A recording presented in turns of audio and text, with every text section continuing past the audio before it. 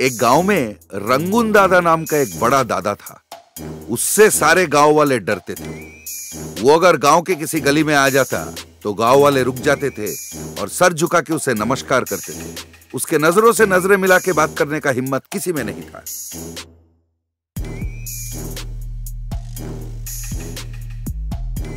वो अगर दुकानों के सामने जाके खड़ा हो जाता, सारे दुकानदार दौड़ के आते और उसके अनुचरों को हफ़्ता दे देते। ये साथ साथ जमीनों का सेटलमेंट भी करता था।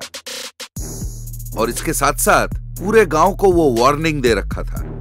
वार्निंग ये था, चाहे माइक पर हो टेप रिकॉर्डर पर हो या टीवी पर हो, उसे संगीत सुनाई नहीं देनी चाहिए।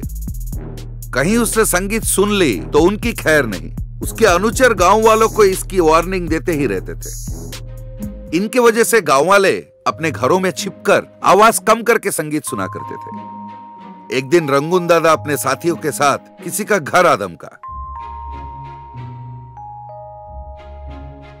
और घर के मालिक साधुराम से कहा, क्यों रे?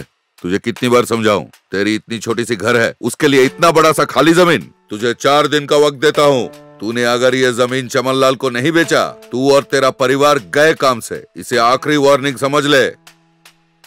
बोल ही रहा था, इतने में साधुराम का बेटा सिंबू उसके आने से अनजान घर के अंदर टेप रिकॉर्डर चला दिया और उसमें से तीन बार म्यूज़िक आने लगा। बस, रंगून दादा ने नाचना शुरू कर दिया। ताल बज रहा था और रंगून दादा पागलों की तरह नाच रहा था। यह देखकर उसके साथी अवाक हो गए साधुराम और उसकी बीवी भी आश्चर्यचकित होकर उसे देखने लगे। इधर रंगून दादा दुनिया को भूल नाच रहा था।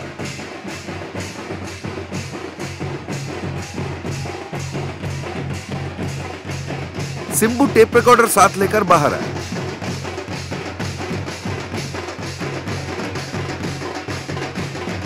रंगून दादा को नाचते हुए देखकर उसने सोचा, ये क्या हो रहा है? उसने आवाज़ बंद कर दी। और रंगून दादा ने नाचना बंद कर दिया। इधर सब हैरान होकर उसे देख रहे थे। सिंबू को कुछ शक हुआ, उसने फिर से टेप रिकॉर्डर चालू कर दिया। रंगून दादा फिर से नाचने लगा।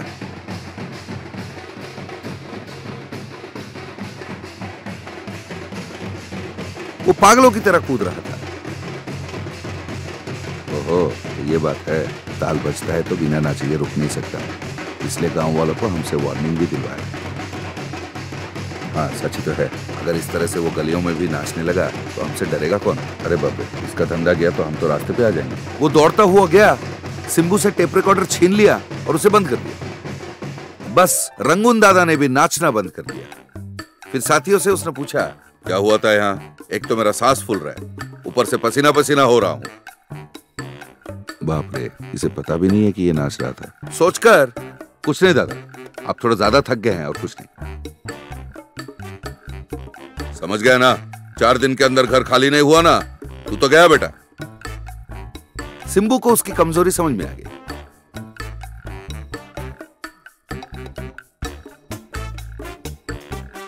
दूसरे दिन रंगून दादा गाँव में निकला। सब लोग रुक गए और सर झुका लिए। इतने में सिंबू एक दीवार के पीछे छुपकर टेप रिकॉर्डर चला दिया। और रंगून दादा का नाच चालू।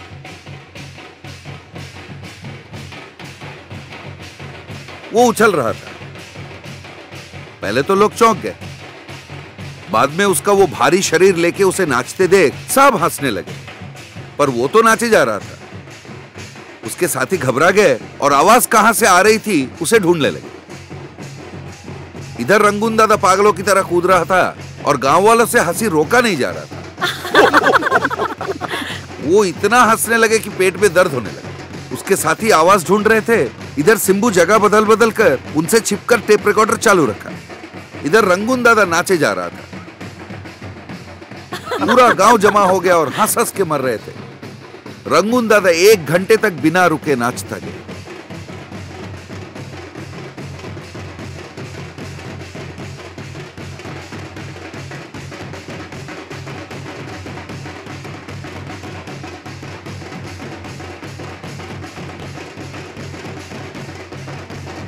आखिर वो बेहोश होकर गिर गया।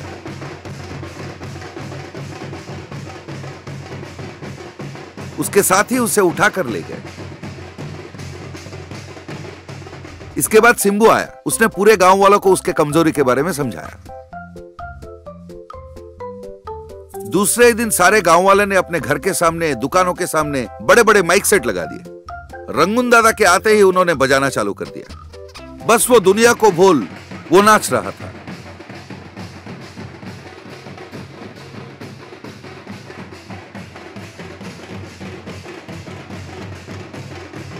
उसके साथ ही जब ज़बरदस्ती माइक उतारने गए, गाँव वालों ने डंडे उठाए।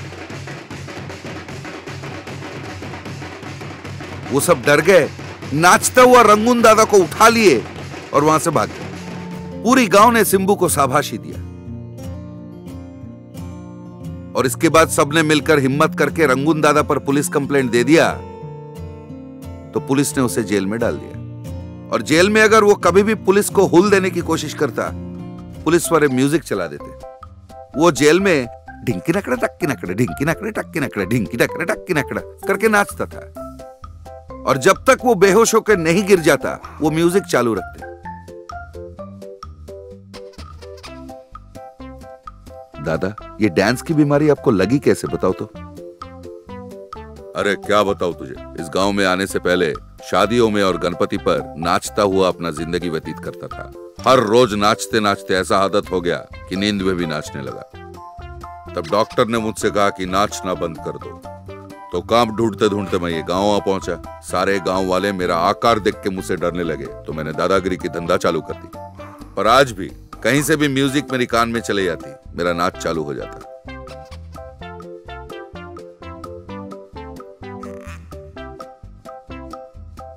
कुछ साल पहले रायपुर नाम के एक छोटे से गाँव में सोमेश नाम का एक स्टील का व्यापारी रहता था।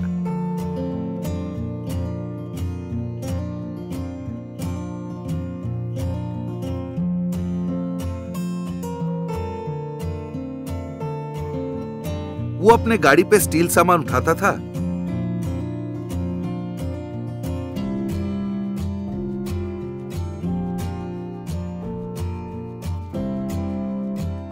ए स्टील सामान। पुरानी साड़ियों के बदले में नई स्टील सामान। ले लो माई, ले लो साड़ी ले आओ। मटके पतीले ले जाओ, साड़ी ले आओ। पुकारता हुआ वो गलियों में घूमता था।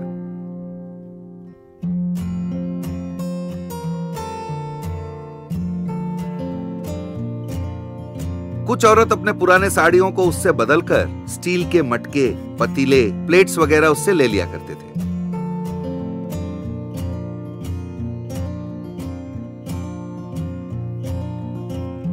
उन साड़ियों को वो पास के गाँव में सेकेंड हैंड का साड़ियों का व्यापारी को देकर उससे पैसे ले लिया करता था। और फिर पैसे ले जाकर अपनी बीवी को दे दिया करता था। कमाई इनकी अच्छी खासी थी तो घर में किसी चीज़ की कमी नहीं थी। एक दिन उसकी बीवी ने कहा, सुनिए जी, और कितने साल इन पुराने साड़ियों का धंधा करेंगे? हम एक साड़ियों का दुकान ही खोल देते हैं। गाँव में एक भी साड़ियों का दुकान तो है नहीं। वैसे भी सारी औरतों को शहर जाकर साड़ियाँ खरीदनी पड़ती हैं। ये सुनकर सोमेश ने कहा साड़ियों की दुकान। दुकान लगाने में तो काफ़ी पैसे लगेंगे। साड़ियाँ खरीदने मुंबई जाना पड़ेगा। इतने पैसे हमारे पास कहाँ है? उसकी बीवी ने जवाब दिया कोई ज़रूरत नहीं है जी। इस समस्या का हल मेरे पास है। आपका साला कपड़ों को रंगने का धंधा करता है ना? आप रोज स्टील के बर्तन बेच के जो पुरानी साड़ियाँ लाते हो, उन्हें फिर से रंग देंगे और अपनी दुकान में सजाकर बेच देंगे। किसी को पता भी नहीं चलेगा और मुनाफा अच्छा खासा हो जाएगा। सही कहा ना? सोमेश ने कहा, अरे वाह, मुझे पता ही नहीं था तू इतनी चालाक निकलेगी। इतने दिनों बाद एक बढ़िया काम की चीज़ बताई तूने, शाबाश. उस दिन के बाद से स्टील सामाल के बदले में पुराने साड़ियाँ लेता था।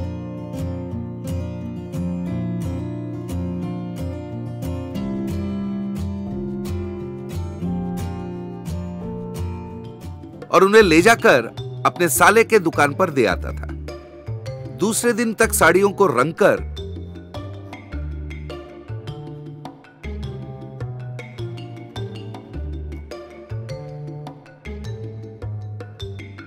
साला उसे वापस दे दिया करता था। साड़ियाँ एकदम नई और चमकदार बन जाती थी तो सोमेश सोचता था, अब किसी को क्या पता चलेगा।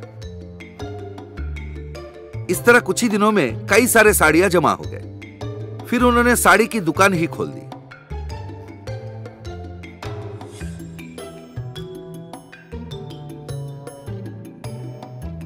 उस गाँव में कोई दूसरा साड़ी का दुकान तो था नहीं।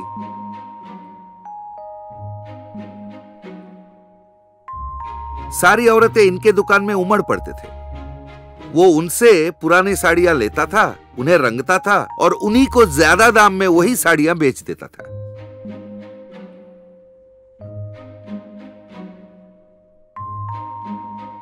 बेचारे गाँव वाले सरल सीधे होते हैं। उनको पता नहीं चलता था और वही साड़ियाँ पहनकर वो खुश होते थे।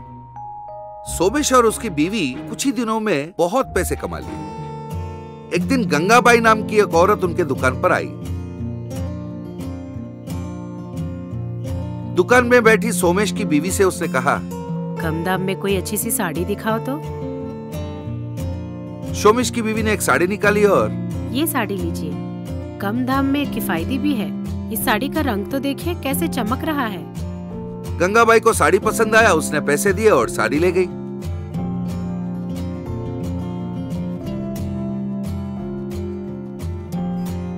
घर पहुँचने के बाद उसने साड़ी खोल के देखा तो वो चौंक गई। उस साड़ी पर उसका खुद का किया हुआ एम्ब्रॉयडरी उसे दिख रहा था। वो तुरंत अपने पति के पास गई और उसे अपना साड़ी दिखाया। सुनिए जी जरा इधर तो देखिए। आप जानते हो ना मैं अपनी हर साड़ी पे एम्ब्रॉयडरी करती हूँ? इस साड़ी को मैंने पिछले हफ़्ते स्टील के बर्तनों के बदले दिया था और आज उसी साड़ी को मैंने उनके दुकान से खरीदा। ये पक्का वही साड़ी है। सिर्फ़ रंग बदला है। उसका पति ने कहा, ऐसा क्या? सोमेश आजकल बहुत कमा रहा है। मैं भी सोच रहा था कैसे? अब समझ में आया। उसे मैं रंगो हाथ पकड़ूँगा। दूसरे दिन उसने सोमेश का पीछा किया और उसने देखा कि सोमेश पुरानी साड़ियाँ अपने साले को दे रहा है। और साले साहब नई साड़ियाँ उसे दे रहा है। वो तुरंत गया और गाँव प्रधान को पूरी बात खुल के बताई। दूसरे दिन सोमेश यथारीति अपना गाड़ी लेके स्टील सामान बेचते हुए उस गली में से गुजरा। स्टील सामान स्टील सामान, पुराने साड़ी दो, नए सामान लो। अचानक गली के सारे औरतें मिलकर झाड़ू और लाठियाँ लेकर उस पर टूट पड़े। और प्रधान साहब भी संतरियों को लेकर वहाँ पहुँच गए। संतरी उसे गिरफ़्तार करके ले गए। तो बच्चों, लालच बहुत बुरी बात है। सच्चाई और धर्म के राह पर चलकर सूखी रोटी खा लो चलेगा। पर लालच करोगे तो जो है वो भी जाएगा। समझ गए?